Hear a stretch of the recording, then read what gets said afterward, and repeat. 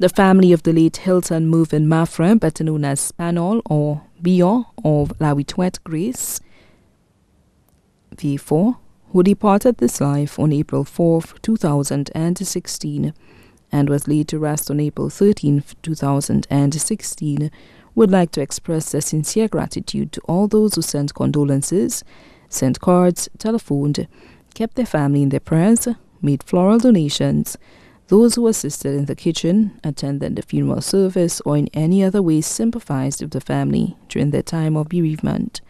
We appreciate your sincerity and outpour of love in helping us get through this difficult time. Once again, thank you and may God bless you. May his soul rest in peace.